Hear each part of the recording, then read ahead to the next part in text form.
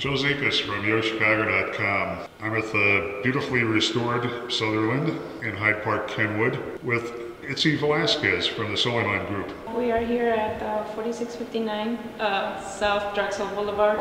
The Sutherland was uh, originally built in uh, 1917 and it was intended to be a hotel. In the 1950s, it became one of the most prominent jazz bars of uh, that era. Here in the lobby, uh, we decided uh, to bring back the original size of the lobby and the original uh, crown molding that you see all around. You are looking at a two-bedroom unit.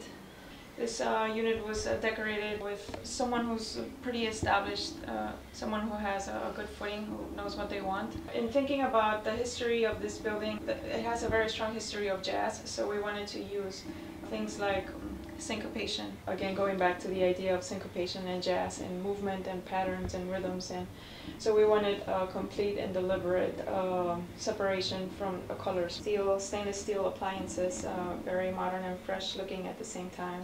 For the bathroom, we wanted to make it look as modern as possible and also at the same time incorporating music.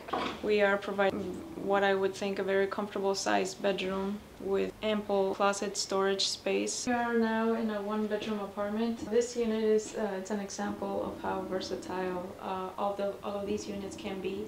We are now in a studio uh, unit and the colors here are very bright, very disturbing of one another.